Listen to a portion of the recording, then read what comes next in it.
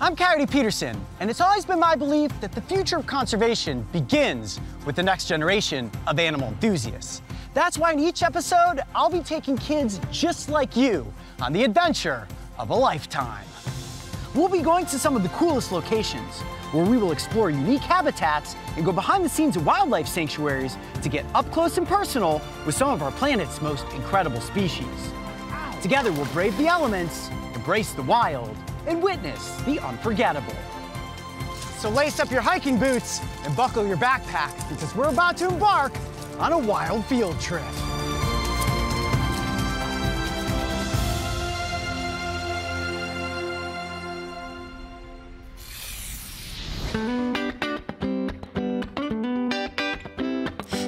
Bass Island is located off Lake Erie's southern shore. And as the third largest island in the lake, it spans 3.7 miles long by 1.5 miles wide, encompassing just over 1,500 acres. The island is beautiful. Okay, so the ferry has just landed.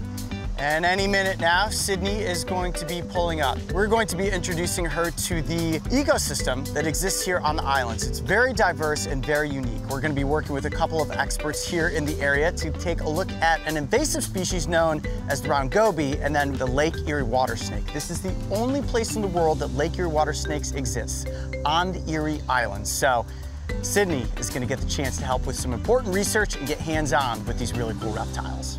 Joining me on today's wild field trip is Sydney Hendrickson.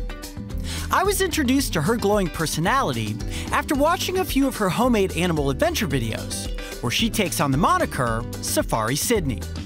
I think her love for nature and wild animals was pretty evident early on. You know, you could just tell that there was not a mean, harmful bone in her body.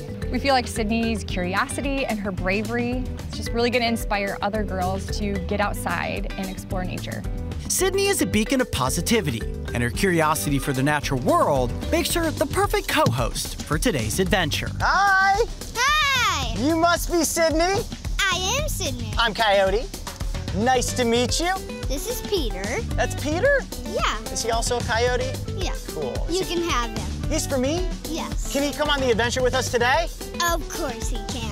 This is going to be awesome. Now, I see you've got on an extra cute outfit, Thank but we're you. gonna get you into some adventure gear and we're gonna head off on a wild field trip. Are you ready for that? Yes. Let's go see if we can find some really cool creatures. You ready? I'm ready. Let's go! Like many islands, South Bass is filled with mythology. And we will be following the tale of an ongoing battle between the heroes and villains that protect or pillage the waters surrounding this lake locked landmass.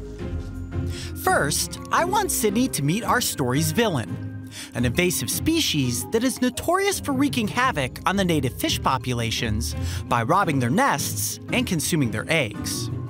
To better understand this invader, we are going to get hands on with a few that have been extracted from the lake for research purposes.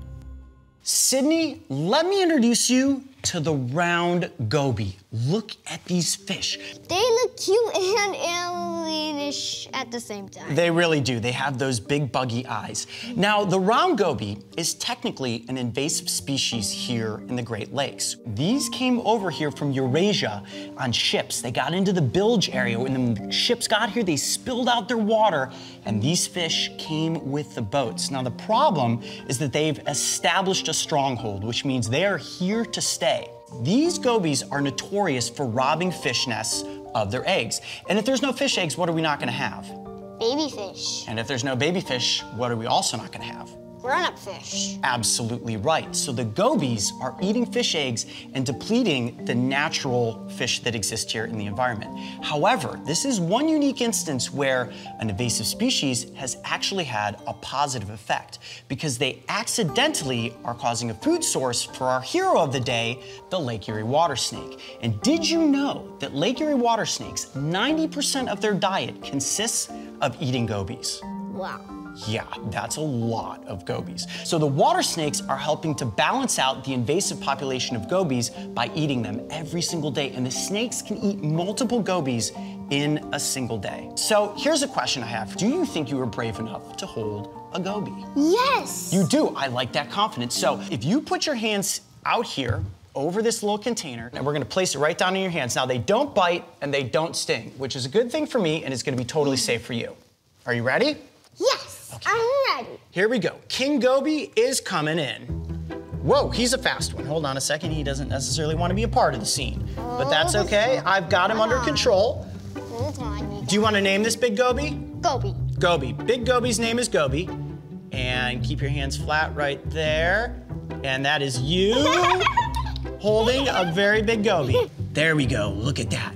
Now you see those big fins? Yeah. They will lay those flat on the basin of the lake and actually use it to push themselves forwards. And look at all the speckling on the body. What do you think that speckling does? Um, camouflage? Camouflage, yes, that's very good, absolutely right. These fish are incredibly good at camouflaging, but you know who can find them underwater? Water snake. That's right, the water snakes can find them underwater, and this is what I would consider a very good sized goby. If you were a water snake and you came across this goby, it would be a very good meal.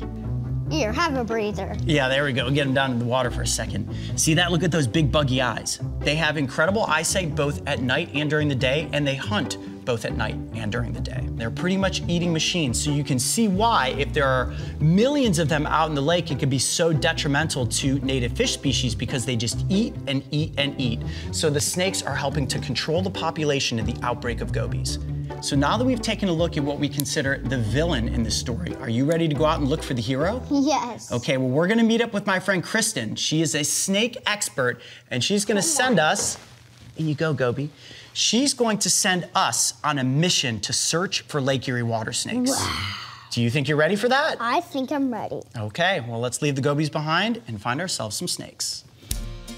When it comes to our story's hero, the Lake Erie water snake, the island has a go to expert, Kristen Stanford.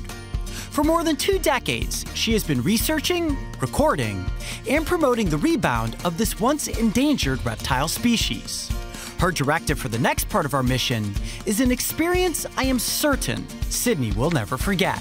Good morning, Kristen. Good morning, Coyote. Great to see you. Great to see you as well. Let me introduce you to my young adventurer, Sydney. Hi. Sydney, it's so good to meet you. So good to meet you too. Now, Kristen, as I understand it, you've got a big mission for us today. I do. I have a very important mission for you guys. I need you to go out to this shoreline and to catch as many snakes as you can today.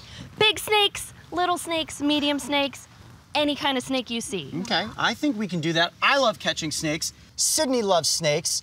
Uh, and when we catch these snakes, do you want me to just put them in my backpack? How do you? I have just the thing. I have a very special pillowcase for you, and I have a very special pillowcase for you. Ooh, stripes. And some extras because you guys are gonna catch so many snakes today, you're gonna need some extras. now, once we've got snakes in the pillowcase, what would you like us to do with them? I would like you to bring all of those snakes right back here, and then we'll go over how we take some biometric data on all of the snakes that you were able to catch today. Okay, I think we can do that. Sydney, are you ready to go out and catch some water Yeah. snakes? All right, let's go. Good luck!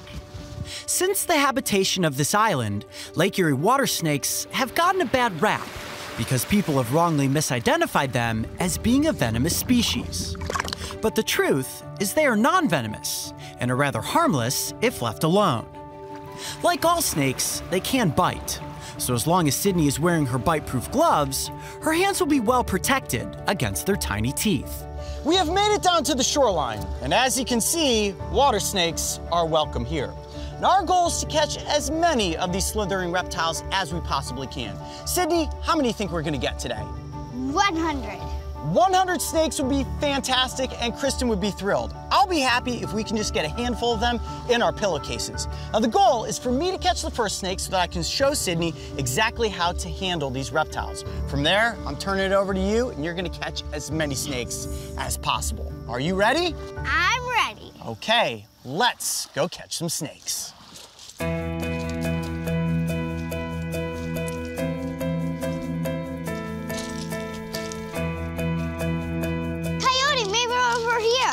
Let's check it out. I don't really see anything. No, but that's a great spot to have looked. Okay, let's keep moving.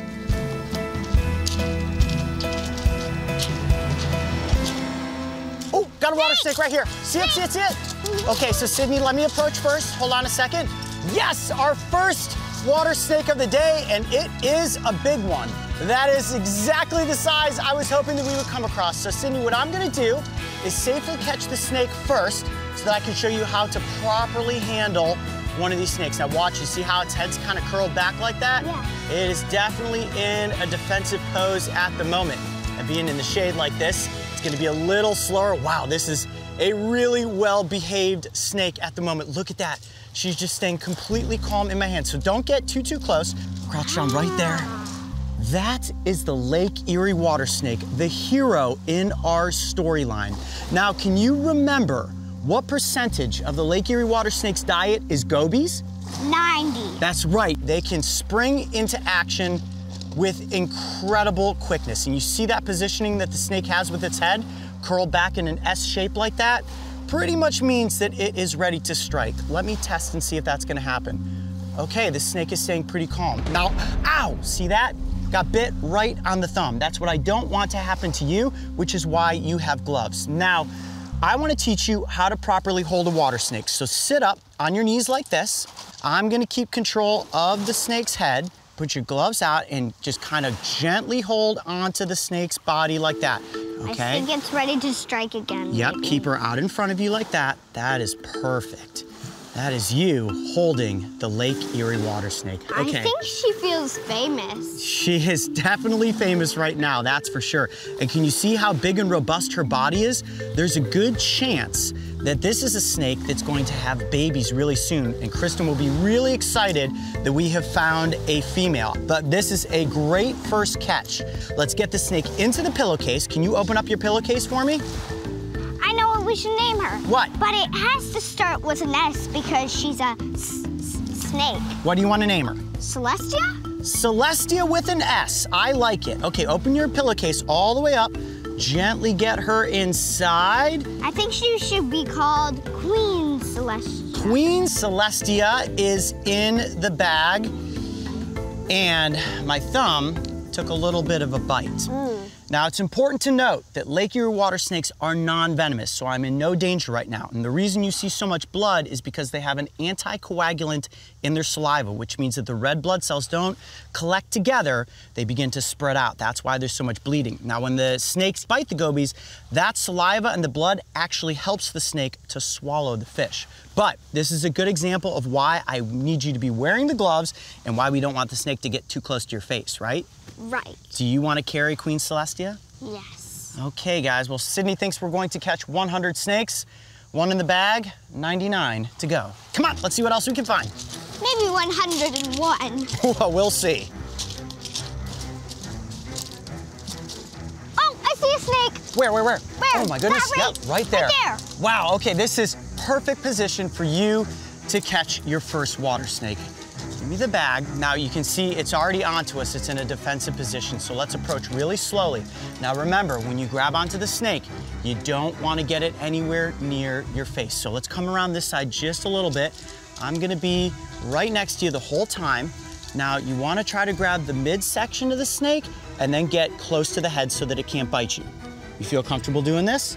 I think I am. Okay, you can do this. You Pretty can do this. I'm gonna be right here. Go ahead behind the snake. I'll keep its attention right here. There you go. Now, you see it's getting into that defensive pose? Oh, yeah. It might try to strike at you. If it does, just put your hand out. Remember, it can't bite through the glove. Crouch down right there in front of it. Careful, careful, careful. I've got it. Oh, there oh, you go. Man. You see that? Can't bite through the glove. Great job. Go ahead and grab by its head. You got it. Yes! Got it. First water snake. Great job, Sydney. That is awesome. Oh okay, careful. Hold on to it. Oh, oh, oh. Get, Oh, get got it. control of it. I've There you go. it. Don't get it too close to your face. Okay. How does that feel? You have caught your first big Lake Erie water snake. I'll call her Sweetie. Sweetie, okay, well, before anything crazy happens, let's get her into the pillowcase, tail And first. she's not that sweet. you did it! High fives. How about that? Her first official water snake catch. That wasn't too tough, was it? Wasn't too tough. Yeah, and do you feel confident catching more snakes? Yes. Our snake search continues. Dude, that was awesome. Okay, I'm gonna tie this Wow, bag that up. That was awesome. Do you want me to carry Sweetie or do you want to carry Sweetie? Uh, I'll carry both. Okay, you carry both. That sounds good. All right, let's keep Let's searching for snakes. You be the snake carrier. Edie. I'll be the Yeah. snake spotter. Okay, down the beach we go. Oh, I think I see it. Oh, there's a It's snake right dropped from a tree. Yeah, yeah, this one's good for you. This one's good for you. Here, give me the bags. Okay, approach it real slow. Oh, go ahead and grab it, grab it, grab it. No, no, no, no, no, no, no, no. Get him, get him, get him. Ah. Got him, got him, got him, got him. Here, you take these snakes.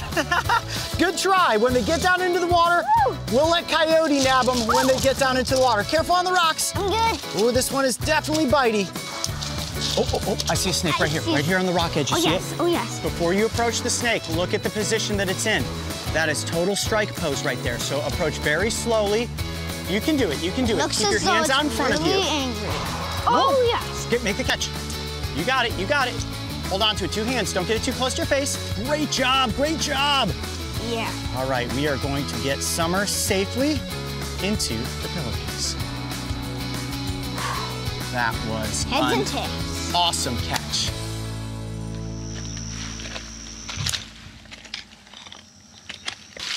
Want to check these rocks here?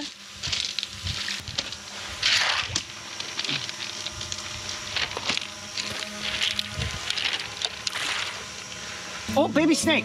Baby snake. Baby snake. Check it out. Wow. Check it out. That's a baby Lake Erie water snake. You see the pattern? Yeah. Look how bitey he is. Oh. oh, he got your glove. That is perfect. We're definitely gonna wanna hold on to this one so that we can show Kristen. He's so cute. Isn't he cute? Oh, he's so cute. You wanna put him in your bag? I'll name him Tiny. Tiny? That's a perfect name. Our bags bustling with snakes, we return with smiles to Kristen's field biometric station. Hey, Kristen, we're back from our mission. Hey, what did you get for me?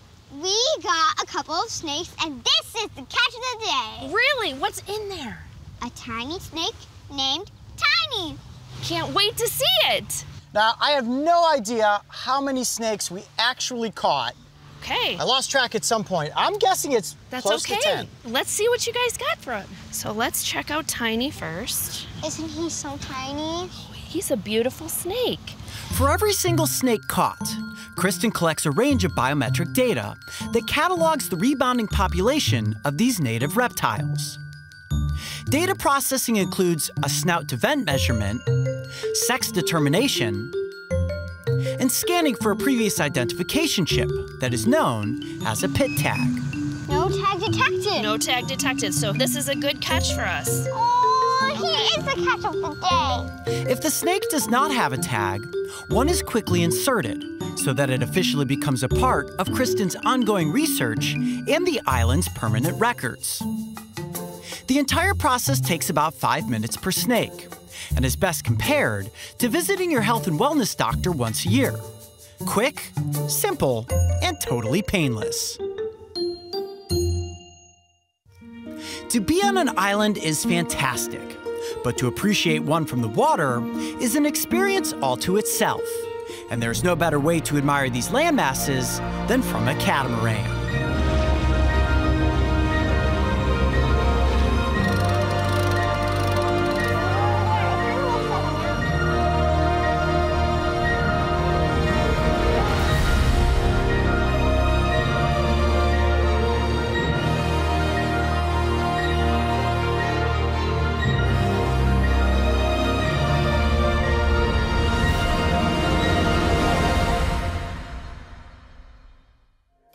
What was your favorite part of this expedition? I did like holding Tiny the baby water snake. The catch of the trip? Yes. And why do you think that snakes are such an important thing for our planet? Because sometimes they eat the pests that are bothering our houses or our fish population or other ecosystems. So, do you love water snakes? I love them. For hundreds of years, humans have enjoyed the Erie Islands, yet just beyond the realm of human awareness, a never ending battle between heroes and villains plays out daily to balance this aquatic ecosystem. If you would like to learn more, or even become a volunteer for the summer where you can help with research projects and get hands on with some slithering snakes, I encourage you to get involved and become a part of the mythology that is South Bass Island. I'm Coyote Peterson. I am Sydney Hendrickson. Be brave. Stay wild. We'll see you on the next Wild Field Trip.